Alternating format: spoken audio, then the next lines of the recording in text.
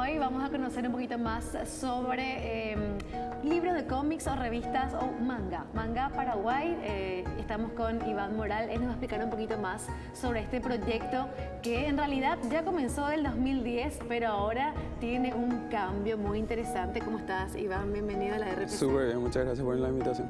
Bueno, me encanta porque este se habla al revés. Sí, como, sentido japonés, exactamente.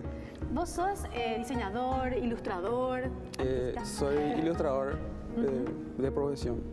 Hace dos años prácticamente estamos con esto.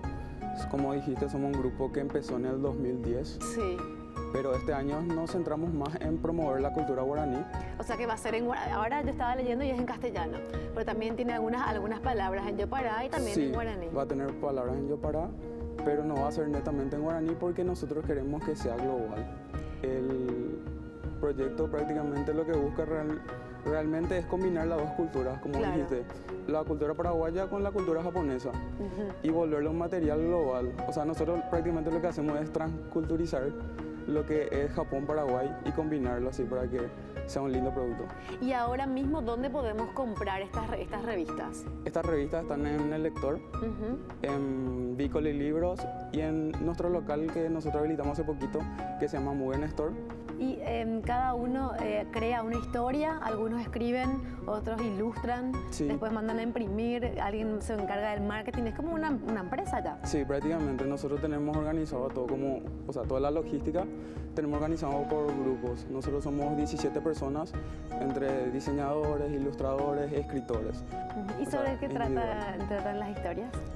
El proyecto que nosotros queremos hacer ahora que se llama Manga, Guaraní, eh, va, va, a tener historias sobre el Curupí, el Luisón, pero nosotros no queremos... Sí, sobre los mitos.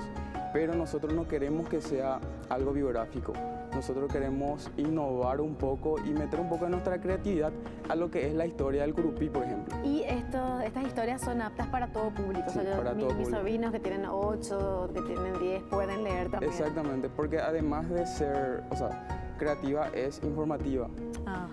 Te, te, informa de la historia del grupí, por más que no es eh, la original, te dice basada en la historia del grupí. Entonces, como nosotros somos ávidos lectores de cómic y cuando leemos cómic, al enterarnos de algo, nosotros decimos, ah, ¿qué, qué significa Curupí? Y ya, buscamos, te vas a buscar. Sí, exactamente. La mayoría de la gente que, que lee o que le gusta leer hace eso. Iván, muchísimas gracias por tu tiempo. Gracias a vos. Eh, también éxito a, todo el grupo a los 17, ¿verdad? Y que, que, crezca todavía mucho más la familia.